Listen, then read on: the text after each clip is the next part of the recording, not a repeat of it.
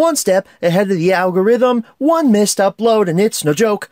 I was going to continue that little bit there, but honestly, it's it's kind of hard coming up with uh, rhymes and stuff on the fly. So you know what? We're just going to cut it there. That's fine. it's a really catchy song, though, and it happens to be in this great movie. Hello, welcome back to another installment of Home Media Reviews. Hopefully, you're seeing this because the YouTube algorithm has been screwing me these last couple of weeks. Or I don't know, maybe you guys aren't interested in this stuff. I don't know. My my view count has been relatively low on these videos these last couple of weeks, so I'm wondering if YouTube has put me in jail for something. I don't know, I don't remember saying anything remotely controversial on this website. I don't know, they could be looking at my Twitter where I could tweet out that I don't like pancakes and the Thomas fandom would be screaming at me for being racist towards waffles because that's how petty that most of them are. So here we are. We're talking about Aladdin this week. Let's not waste any time, let's jump right into the history section of Aladdin.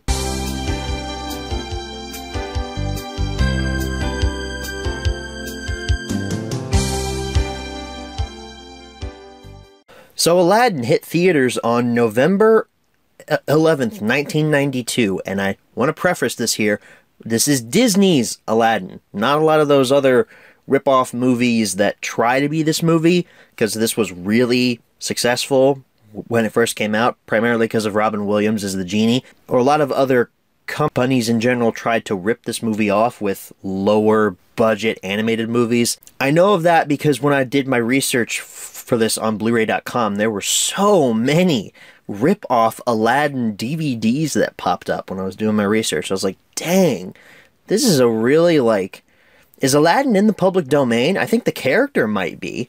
I don't know about this movie though. I mean, obviously this movie is not in public domain, but I think the character might be because there are so many Aladdin movies out there.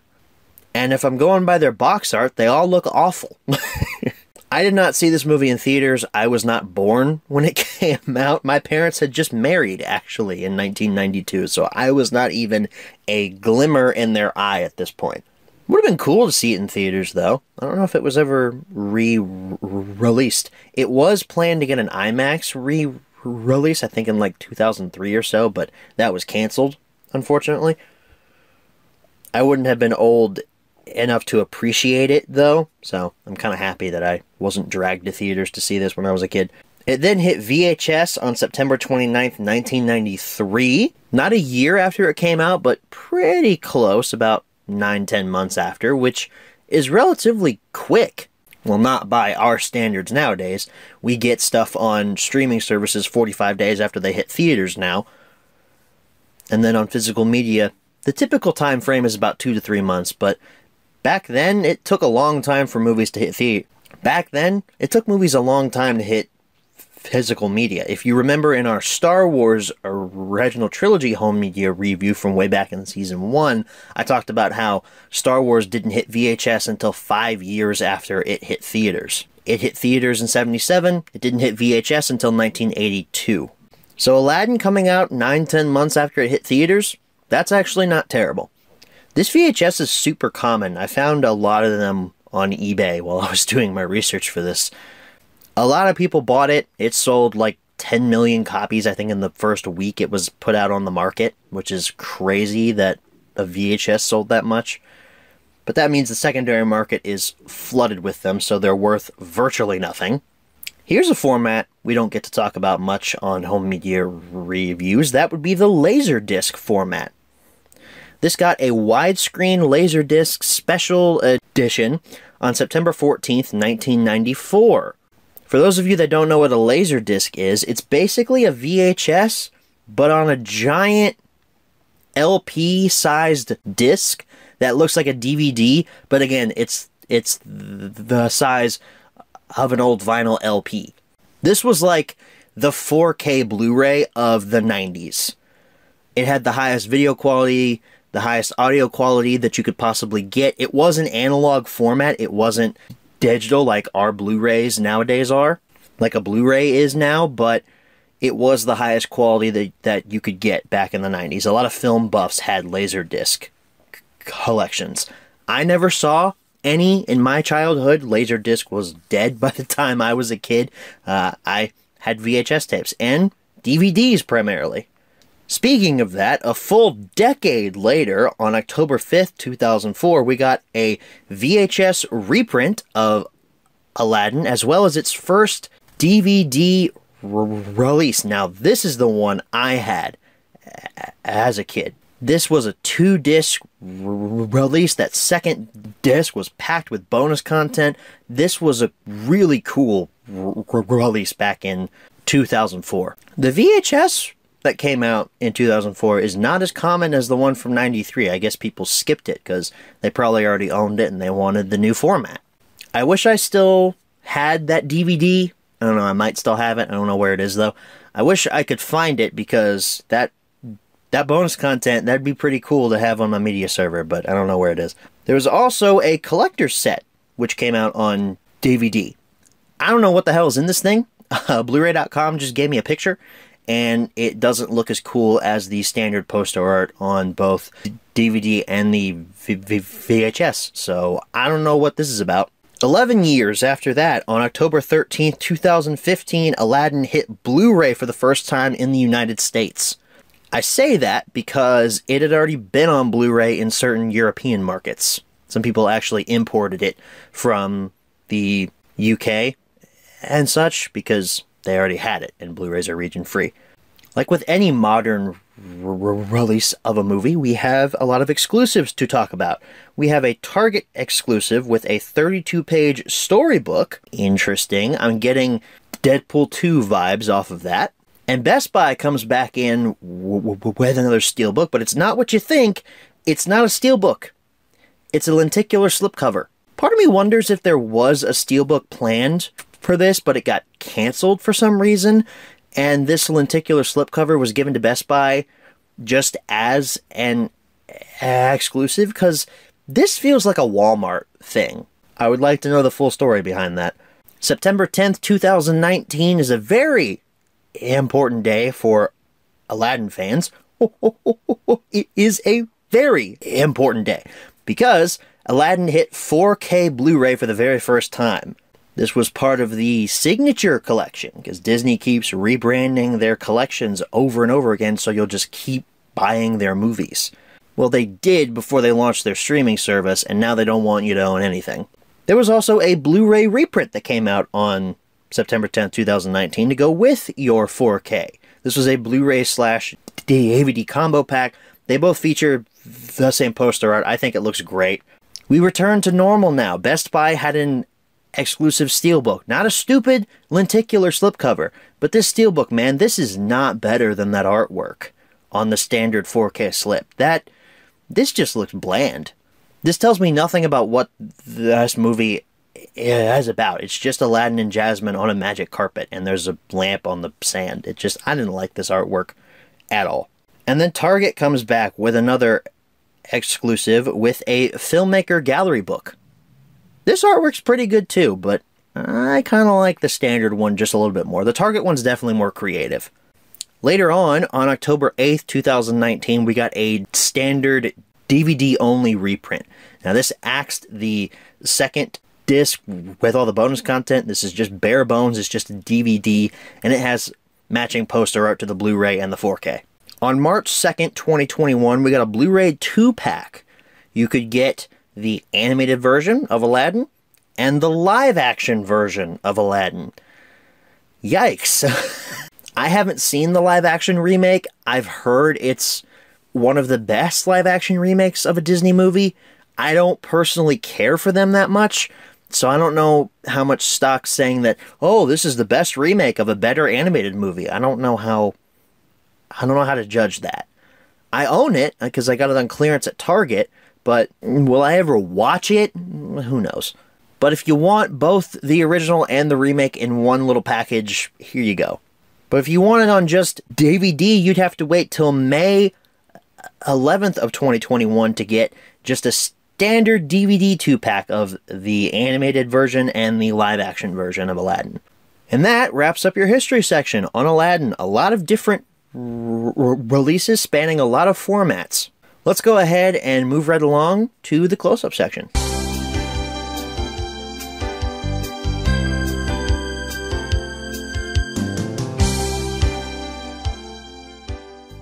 Alrighty everyone, here's your close-up look at Aladdin. We only have the standard 4K Ultra HD copy to look at here, so let's jump into it. 4K up there at the top, 4K plus Blu-ray plus digital code in a gold bar. You have this beautiful artwork here. I love this poster. It's got all your main characters on it. Genie, Aladdin, Jasmine, Jafar, and Iago, as well as the Agrabah Palace back there, and the lamp, and also the magic carpet. The only thing that's missing is Abu. I don't know where he is on this poster, but it's an absolutely beautiful poster. I absolutely adore it.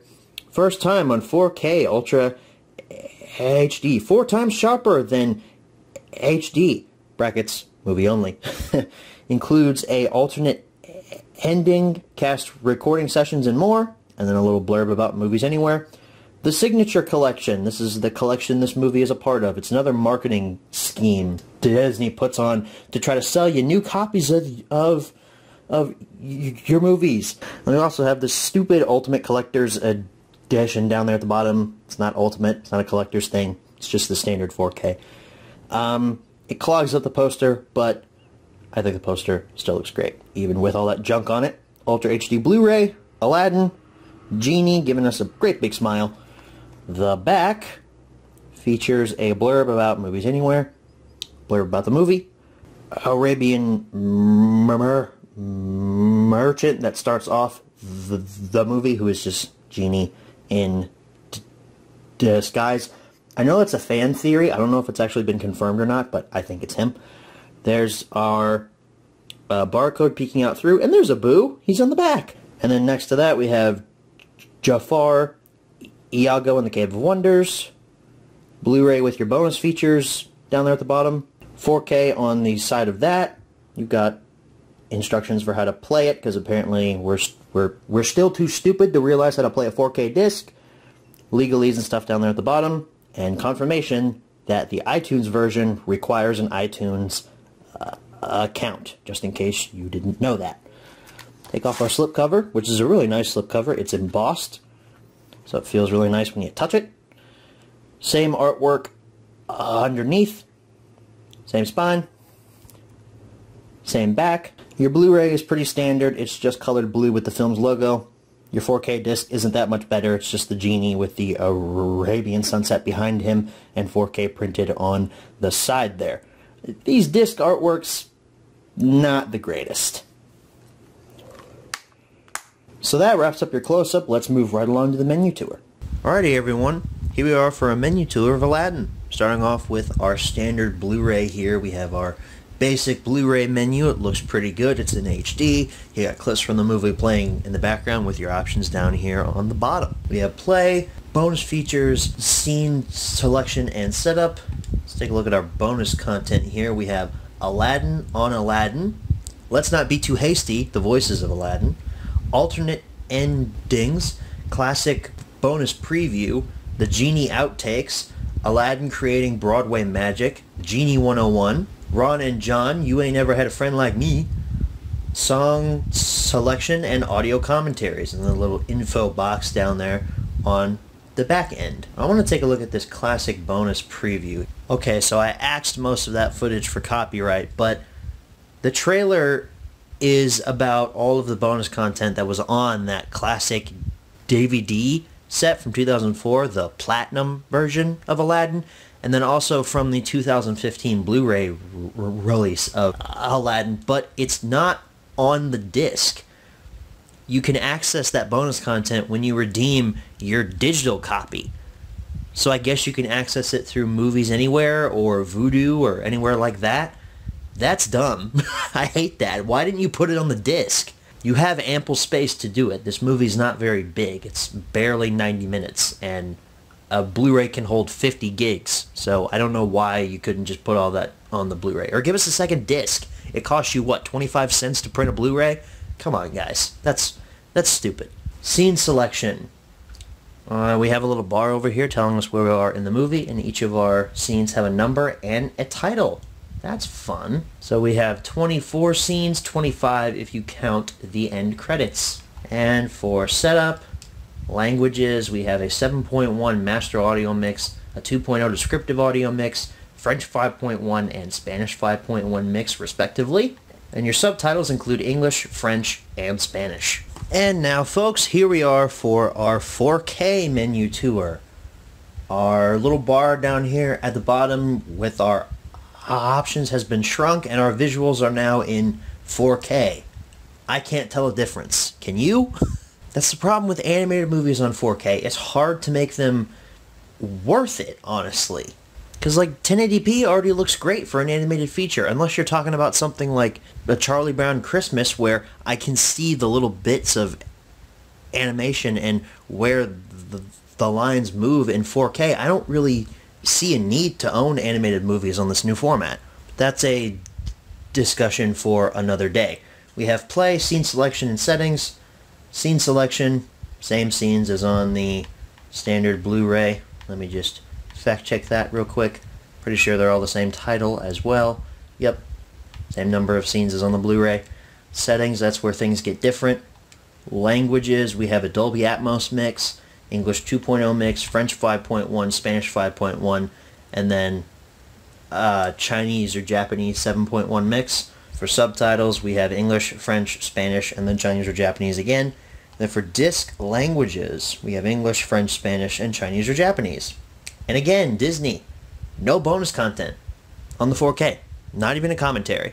There are commentaries. They were on the Blu-ray. They had their own separate menu. Why aren't they on the 4K? I will complain about this until Disney fixes it or the day that I die. That, folks, wraps up your menu tour. Let's head on back and answer the five main questions, as always. All right, so we're back from the close-up. Now it's time to answer the five main questions, as always. Number one, where can you pick this product up? I seem to remember seeing some Blu-ray copies on like a Walmart or a Target shelf a few months ago. I don't know if that was just mine, like they had backstock and they were putting it on the shelves, but I don't know, maybe you could find it at a big box retail store. Your best bet though is going online, especially for that 4K. Number two, is this product still being printed nowadays? As much as I want to say yes, since the most recent reprint was in 2021, May of 2021 no less, we're in May of 2022 now, Mm, I can't say yes to this. I'm sorry. It's too far. Number three, should you pick this product up? Boy, I had so much fun watching Aladdin. Again, this movie is like just comedic fun, but uh, but it has a great story to it as well. We follow the main character, Aladdin, voiced by Scott Weinger, I think's how you pronounce his last name. He's a street rat, riff raff. I don't buy that. Who has to steal food. He lives with his monkey friend Abu, who's very cute. They get caught up in this whole conspiracy with the king's grand vizier known as Jafar, who's our villain of the movie, who's voiced by Jonathan Freeman. He's trying to take over the kingdom. Well, he's actually a sultan because this takes place in Arabia, so Blah, blah, blah, blah. Aladdin finds a lamp. He meets Genie, voiced by Robin Williams. He has to seduce the princess, Jasmine, voiced by Linda Larkin. Honestly, everyone's seen Aladdin. Everyone knows what happens.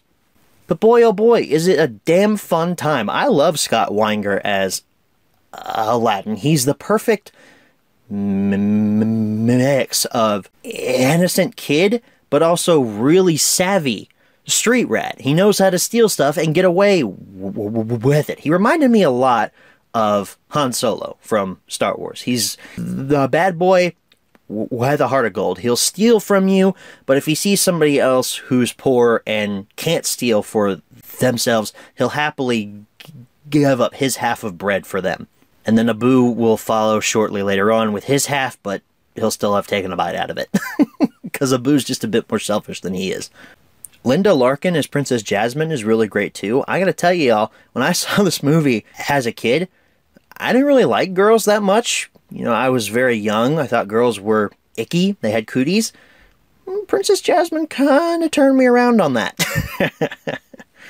Every child has their animated crush. Don't act like you're so high and mighty like you didn't have one. Like, come on.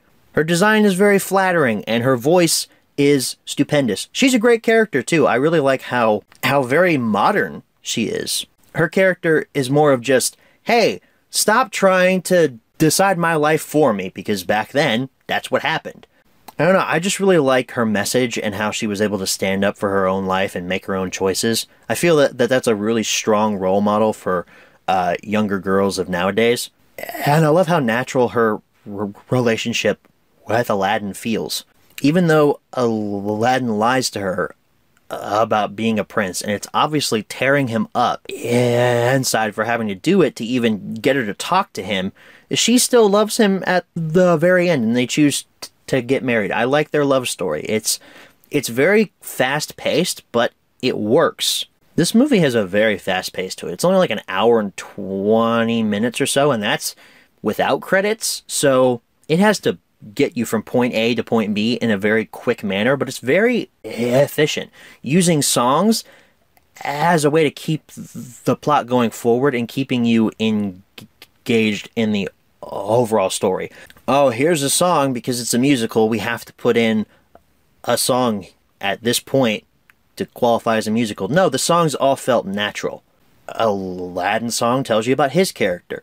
Genie's song tells you about his character. A Whole New World, which is probably the best song, the best movie, although I'm more partial to the Genie song because it's hilarious because of Robin Williams. That one is to set up Princess Jasmine and Aladdin's love story going forward on the magic carpet. Each song serves a purpose. I keep talking about him. Let's talk about Robin Williams. He's fantastic as Genie. I absolutely love all of his ad libs and how they actually put them into the movie. Who would have thought that you would have had a Jack Nicholson impression that was actually animated and left in a kids movie. That's insane to me.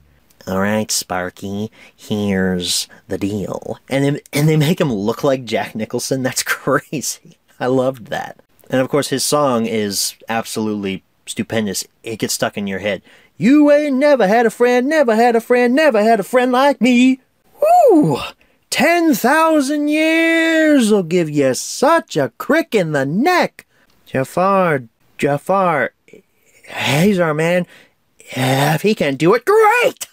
Everyone says Robin Williams is the standout performance of this movie, and I tend to agree. I think he's fantastic.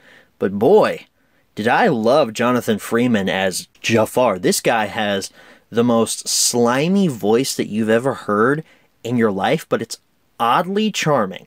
I'm so sorry, Princess. The boy's sentence has already been carried out. No, Genie. I have decided to make my final wish. Excellent work, Iago. Ah! Ah, well, go on! No, no. No, no, uh, really. Oh, on a scale of 1 to 10, you, sir, are an 11. Oh, Jafar, I'm embarrassed. I'm blushing, really. That's another great vocal performance here. Gilbert Gottfried as Iago. I'm so sad he died this year. That's that's horrible. I would have loved to have heard his Iago voice one last time. My favorite Iago joke is a very it's a very simple one. It's after Jafar gets found out that he's been hypnotizing the Sultan and he's laughing hysterically because he finds out Aladdin has the lamp. So Iago's like, Oh boy, oh boy, he's cracked, he's got nuts. Jafar, Jafar, get a grip! And Jafar grabs his throat. Good grip. I laughed at that for a solid five minutes. I don't know why that's my favorite Iago joke. He's got great lines throughout it. And did I shove crackers down his throat? Ha! Make way for the world's most powerful sorcerer, Jafar! Honestly, there's not one bad vocal performance throughout this entire cast. Even the magic carpet has like a voice to him. He never speaks, but you know exactly what that piece of felt is thinking. it's hilarious. Abu also never speaks either. I mean, he may have a few words here or there, but he's a great character. All the characters here are great, and all their vocal performances are amazing. I love the, this movie's story and how it sets up at the start that Sultan has given Jasmine three days to find a suitor, and that's how long this movie takes place is like three days or so, maybe two and a half. But that's a great ticking clock to set up for how long we have till something happens, something bad, presumably. It helps to set up why the movie has such a breakneck pace, but it never feels like it's going too fast. You feel like you're getting everything that you need out of every scene. The animation is spectacular. I mean, for being 90s animated, this thing looks mm, amazing. It could have come out today, honestly. It looks awesome. Especially, again, the genie. He is the standout animated character from this movie. They do so many great visual gags with him. This movie has a lot of, like, very subtle pokes at humor, but also, like, in your face animated humor, like with Genie, but also there's little moments throughout it that you probably won't catch when you're younger, but when you're older, you'll catch that joke. Really, I don't have any complaints with Aladdin. I I think it's a great movie all around. I think it's one of Disney's best animated movies. Between all the cast members are great. The villain is fantastic. I love his plot. I love that he wins like a third of like three fourths of the way through and then ends up losing. It's a genius way that Aladdin gets him to lose. Jafar is seduced by the one thing that he wanted was ultimate power, but he doesn't realize that ultimate power isn't all it's cracked up to be. That's perfect. That's great storytelling. Albeit simplistic, but it works. I can sum up th- this movie in one word satisfying. You feel like you've gone through a satisfying narrative with a set beginning, middle, and end with characters you enjoy, great slapstick comedy, funny line deliveries, spectacular animation, and a really nice, heartwarming story uh, about a boy, his genie, and his love interest, and his monkey, and his magic carpet, and his tiger. Well, it's her tiger, but you just feel satisfied all around after you finish watching it. And that's why I totally recommend you watch Aladdin if you haven't already. If you have, watch it again. It's really worth your time. I had a great time watching it for this review, and I have no doubt that I'll be going back to it in a couple of weeks. I had that much fun with it. You guys notice this movie's aspect ratio is a little bit weird? It's not quite 16 by 9. There are little skinny black bars on the sides. It doesn't quite fill up your entire widescreen television. I don't know what's up with that. Number four, where should you pick this product up? Same matches as number one. And number five, what price should you pay? Well, the 4K has been off store shelves for a while now, and honestly, I'm not really sure if you need the 4K, because I mean, it looks good, but does is it really that big of an upgrade over the Blu-ray? I got the 4K personally because I didn't have the Blu-ray, and I thought, well, if I'm going to upgrade, let's go all the way with it. Did I really need the 4K? Not particularly. It looks good, but it's not that much of an improvement over the Blu-ray. So if you're a big film completionist type person and you just have to own everything that's Aladdin, the 4K I'd say around 15 to 20 for that. It's still worth about its market price today. Blu-ray, the Blu-ray of this of course looks spectacular because because most Disney Blu-ray transfers look great. They actually put time and effort into them, or they did before they moved all their focus to streaming, which I'm still mad about. Blu-ray is actually more common than you would think. A lot of people picked that up and are now trying to sell it because the 4K is out there and they think it looks better. I'd say about 10 to 15 for that. DVD, those are a dime a dozen, especially the 2004 version. I see that thing everywhere at pawn shops and half price books. That thing's not worth much, probably about five bucks. It is a cool version though. So if you want some bonus content, definitely pick up that 2004 release. The VHS from 1993, yeah, that's like two bucks. That thing's not worth anything. So that, ladies and gents, wraps up the home media review on Aladdin. Just a really fun movie that I really, really had a good time watching. I left out humming a whole new world, and you've never had a friend like me. So what's next week, my dear friends? We're going to continue on the Disney animated trend and talk about the magnum opus of Disney animated movies. Most people think that this is the best work that Disney has ever done. It's the best 2D animated film. It's their best animated film, period. There are so many people that love this movie to death. Do I agree? Well, when we talk about Lion King next week, you'll find out if I agree or not. That wraps up things here for me. Thank you all so very much for watching, and as always, good night, everybody.